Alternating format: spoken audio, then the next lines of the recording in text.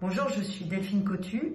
Je viens cette année jouer au festival Théâtre en mai avec la compagnie Le Moonstrom. C'est une compagnie originaire d'Alsace.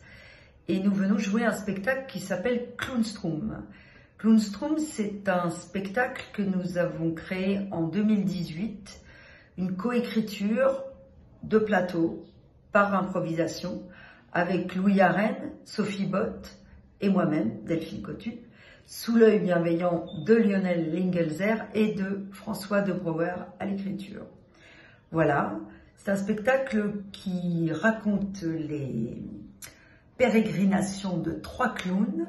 Ce sont les trois derniers clowns après la fin de l'humanité qui vont essayer, qui vont tenter de refaire société en réinventant leur politique et en finalement reproduisant les mêmes erreurs que leurs prédécesseurs. Mais je vous en dis pas plus je vous invite vraiment à venir découvrir ce spectacle, dont la particularité quand même est celle de ne pas jouer dans un lieu théâtral à proprement parler, mais dans un lieu totalement inédit, qui n'est pas le même à chaque fois, et qui euh, est un peu le quatrième personnage de cette histoire. Il est très important, car il raconte le monde dans lequel euh, évoluent ces trois clowns.